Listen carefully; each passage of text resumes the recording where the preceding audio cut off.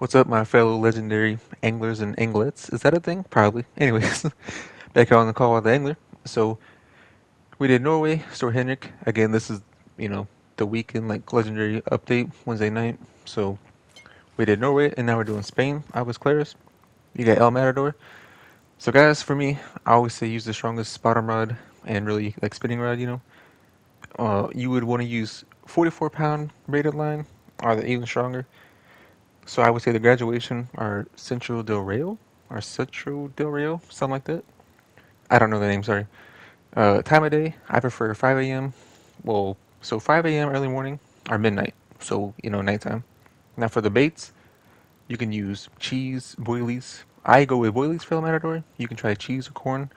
For the hooks, three out, four out hook. Again, so three slash zero, four slash zero.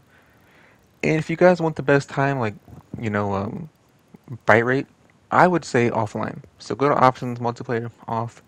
Again, this is El Matador, Spain Legendary, the new week. So any questions, comments, leave them down below. Hope this helps you guys get that token. I will see you in the next one. Peace.